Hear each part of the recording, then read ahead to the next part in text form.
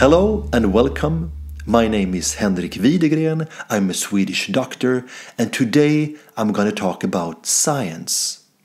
It is important that we do clinical research so that our healthcare becomes better and evidence based.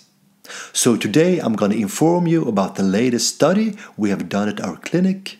It's called Patients Who Fall Are More Often Injured Than Those Who Do Not and it is a classical staircase study.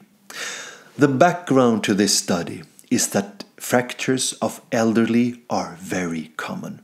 For example, one third of all 80 year old Swedish ladies have had a hip fracture. Therefore, all patients over 70 years of age undergo a fall risk assessment when they are admitted to our ward. The purpose is, of course, to prevent falling and fractures during the stay in the hospital. However, there is no scientific evidence that it is unhealthy to fall. So we made the hypothesis that older people who fall are injured.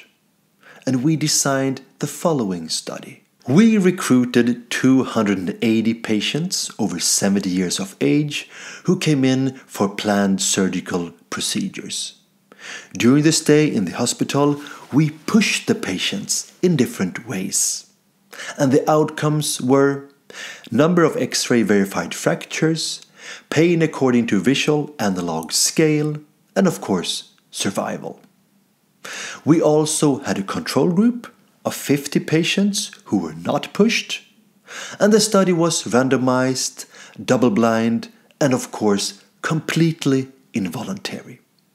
And that the study was double blind meant that the doctor who pushed the patients had blindfolds for both eyes. And the study was approved by ethics committee in North Korea. And the results. This figure speaks for itself. On the y-axis we have the relative risk of fracture and on the x-axis we have the pushed versus the unpushed. Thus, pushed patients have a five-fold increased risk of fracture. And this difference is very significant. Of course, we also looked on different pushing techniques. If you push with one hand, you get a threefold increased risk of fracture with two hands, a five-fold increased risk. And if you slide tackle an elderly, you get a 12 times increased risk of fracture. These are pretty amazing numbers. It's also interesting to see in what premises you are pushing older people. A push in the corridor, three times increased risk of fracture. A push in the staircase, eight times increased risk. And if you push a person from ward number one, it's a 90 times increased risk of fracture.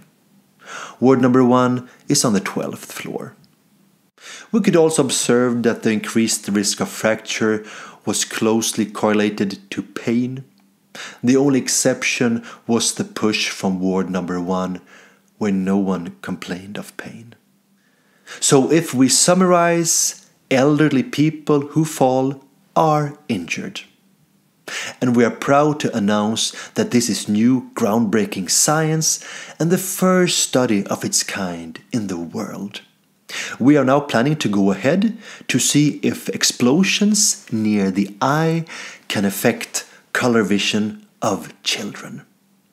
Finally, I would like to thank you for listening, and I've included this last picture to emphasize that it's people we are dealing with and it's always important that we find out how we provide the best possible healthcare.